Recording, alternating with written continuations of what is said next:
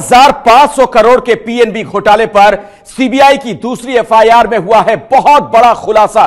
CBI की FIR में 5000 करोड़ का घोटाला 2017-18 का बताया गया है। एबीपी न्यूज़ के पास सीबीआई की एफआईआर की वो कॉपी भी है, जिसमें इस बात का ज़िक्र है। हमारे संवाददाता सीबीआई संवाददाता ओम प्रकाश तिवारी की यह खास रिपोर्ट आपको दिखाते हैं। पंजाब नेशनल बैंक के साढ़े ग्यारह हज़ार करोड़ रुपए के घोटाले में से क्या पाँच हज़ार करोड़ रुपए का घोटाला एनडीए राज में हुआ है? ऐसा हम इसलिए कह रहे हैं क्योंकि सीबीआई ने इस मामले में दर्ज दो एफआईआरों में साफ़ तौर पर लिखा है कि एलओयू जारी करने की डेट साल 2017 है।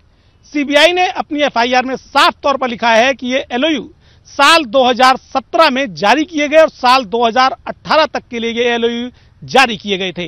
मेरे हाथ में जो आप इस समय देख रहे हैं, ये सीबीआई की उसी एफआईआर का हिस्सा है। और आप इसमें देख सकते हैं कि एलओयू जारी करने की जो डेट है, वो साल 2017 लिखी गई है। यानी सीबीआई ने फ़िलहाल अपनी एफआईआर में कहा है कि ये पाँच हज़ार करोड़ का घोटाला, जिसमें 280 करोड़ और चार हज़ार आठ सौ छियासी करोड़ शामिल हैं, ये घोटाला एनडीए राज में हुआ है। हालाँकि सीबीआई सूत्रों का इस बारे में कहना है कि इसमें से काफ़ी हिस्सा रोल बैक का भी हो सकता है।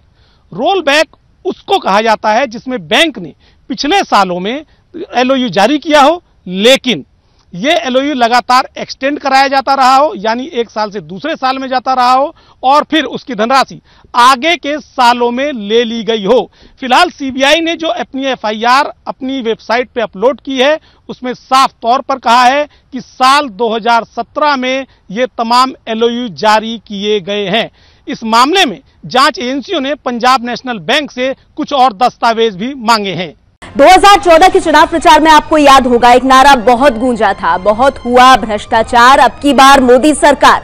लेकिन 2019 के लोकसभा चुनाव से ठीक पहले बैंक का महा घोटाला हो जाता है। पीएनबी घोटाला 11,500 करोड़ का।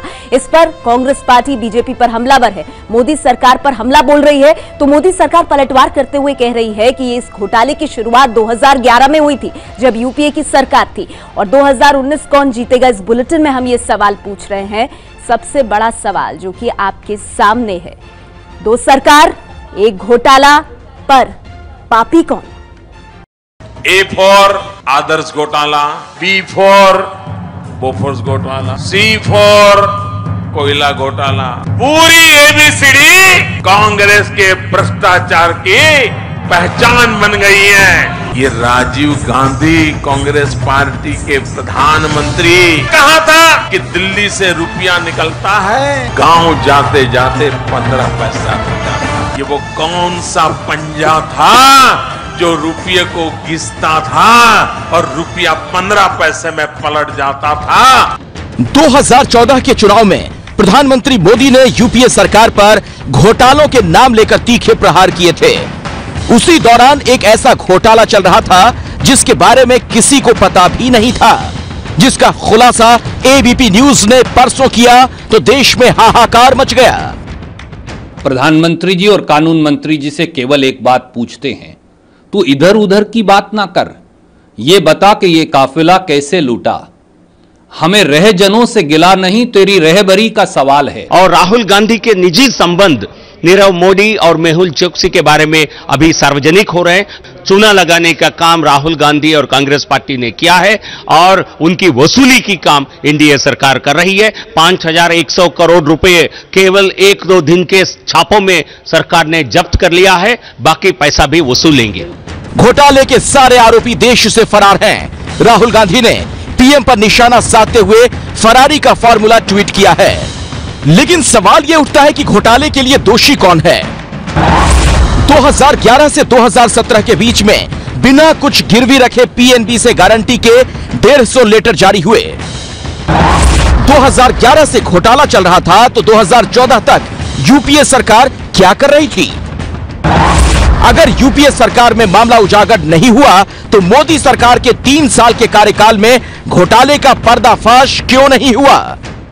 मोदी सरकार का दावा है कि यूपीए के राज में घोटाला हुआ, जबकि कांग्रेस पूछ रही है कि 2016 की शिकायत पर प्रधानमंत्री ने कार्रवाई क्यों नहीं की?